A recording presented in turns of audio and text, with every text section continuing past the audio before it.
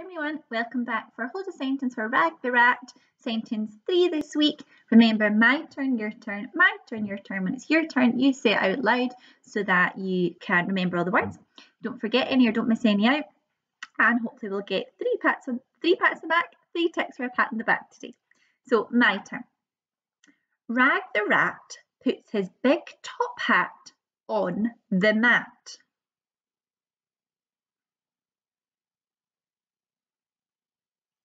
Rag the rat puts his big top hat on the mat.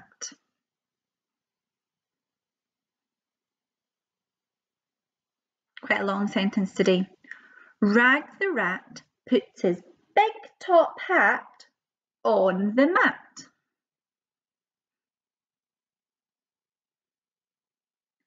Rag the rat puts his big top hat on the mat. Let's have a look at what we need for a successful sentence today. We need capital at the start and again the sentence begins with a capital R today so you'll have had lots of practice throughout the week. You'll need finger spaces between your words. There's loads of words in today's sentence so there'll be lots of finger spaces too. At the end of our sentence, full stop, ha.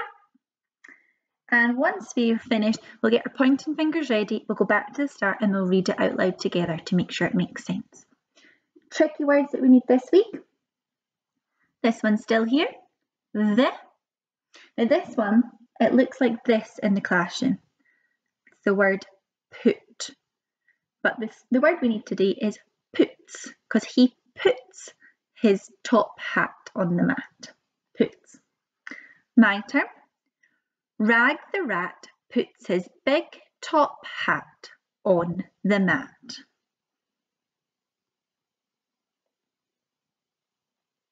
Rag the rat puts his big top hat on the mat. Last time before we write.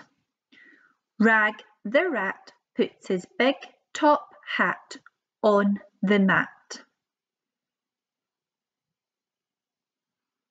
Write it.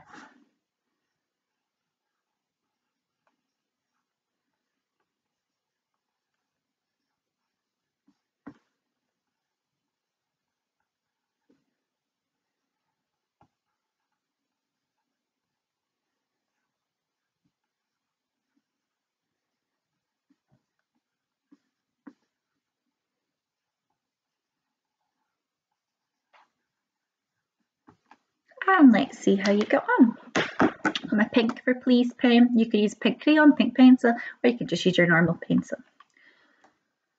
Have you remembered a capital letter at the start? If you have, give yourself a tick. I'm sure you're getting better at them from all the practice this week. Have you got finger spaces between each of your words? If you do, pick one. Give yourself a tick.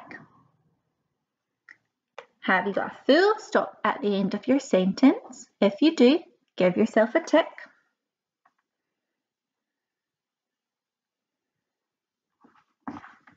And will we pick a bonus one today? Let's see.